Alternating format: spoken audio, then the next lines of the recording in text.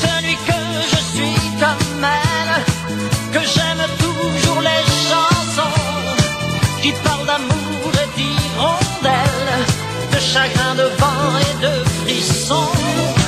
Dites-lui que je pense à elle quand on me parle de Magnolia, quand j'entends ces musiques nouvelles qui résonnent comme des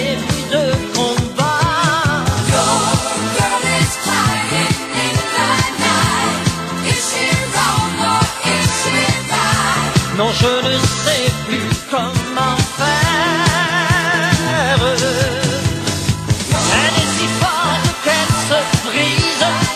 Elle est si elle